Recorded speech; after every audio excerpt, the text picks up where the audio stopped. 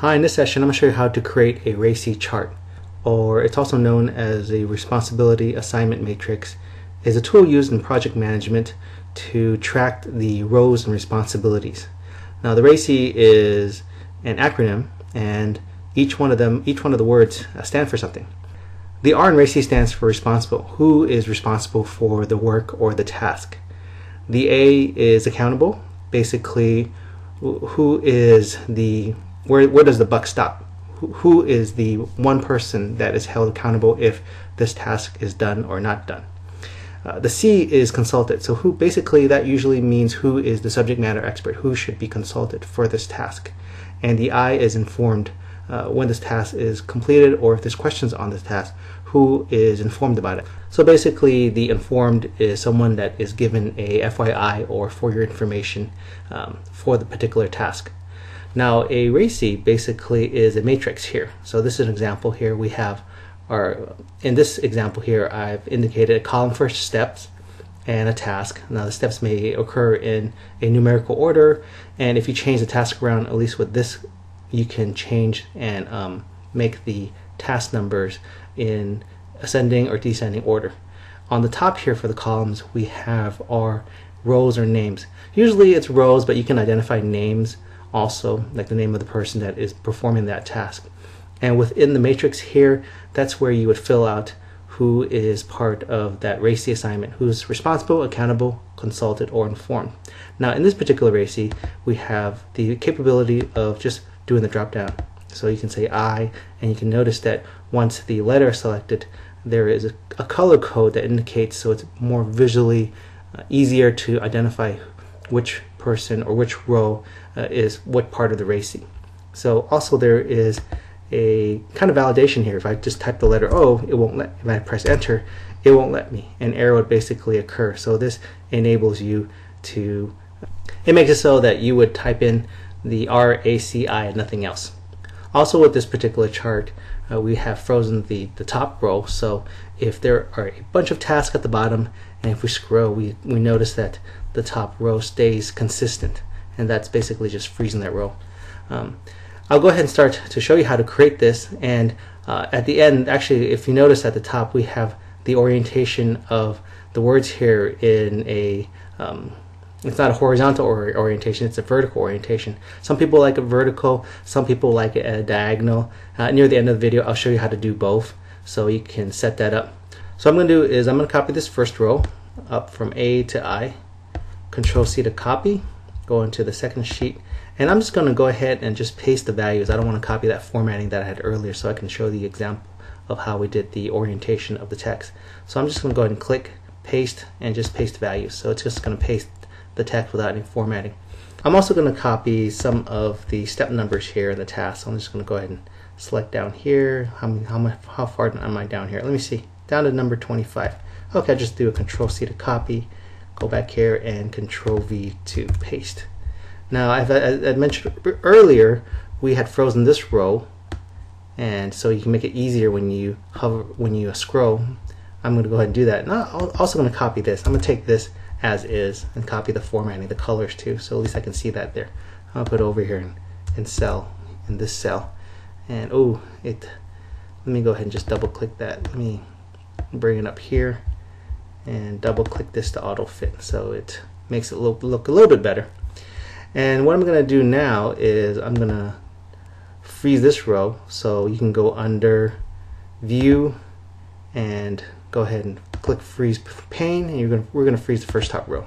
So if, as I scroll you can see that it stays there.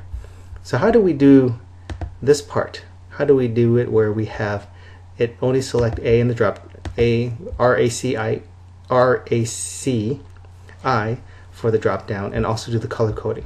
Well, there's two things going on. First is data validation, and then second is conditional formatting. So I'm going to select this area from C to I and go all the way down to, I guess, step 25. Let me see. All right. And I'm going to do the data validation first. So go under the data tab and go under where it says, in the data tools group, go to data validation and select data validation here. So what I want to do is have a list. And here in this list, I'm going to type R, I mean capital R, comma A, comma C, comma, and then I. And so there's an input message here. So it's selected where if the cell is selected, it's going to input a message. There's no message here, but what when we earlier saw when I inputted anything other than RACI, I got an error. So this check mark is automatically by default. So when I enter anything other than RACI, I'm going to get an error. So that's fine. I'm just going to leave that. You can you can input a kind of error here where you can say only only type only input R A C or I. And so that will show up. Click OK. And you'll notice that when I click in here now, I've got this drop down and I can type select a C or if I try to type U here and press enter, you'll see that that message shows up now. All right, so that's that. Let me go ahead and uh, maybe put select some other cells and you see you have an R here. Let me put in uh, A here and put in a I here. And so the other thing we can do here to visually identify the RACI is to do conditional formatting. So I'm going to select this area again and go under the home ribbon and go into conditional formatting. And then I'm going to highlight the cells when the cell text contains something. So I'm going to go ahead and, actually I can probably go here to more rules. This will let me insert one rule. Uh, but here, it'll bring up the window where I can insert probably multiple rules, or I can I don't have to close the window again and again. So I want to only want to format only cells that contain this text value. So the specific text, I'm going to start off with the R, and if the R is orange, so if it contains an R, I'm going to select the formatting and do the fill uh, for orange color. All right, so I'm click OK and that has selected it. Oh, okay, the window closed. Let me go ahead and go under uh, conditional formatting, manage rules, and a window will show up where I can add additional uh, rules. So I'm going to add a new rule. That was for the or that was for the R. For the A, let me go ahead and add a new rule and go under format only cells that contain text, specific text. And if it contains the letter A, let me make that red. Click red here and then and do another one for C. Add a new rule if format only cells that contain and with the specific text with the letter C, make that one blue. So I'm gonna make that one blue. All right, and then the last one, click OK here. And then for the last one, new rule for I. And then if the text contains an I, then that's going to be gray. So let me go ahead and select gray here. Click OK, click OK, all right, and click OK. And so you notice if I go back up here, you'll see that the colors have been filled out. R's first, R is orange, A is red, C is blue, and I is gray. So if I selected any other letters here, you'll notice that now the colors have changed accordingly.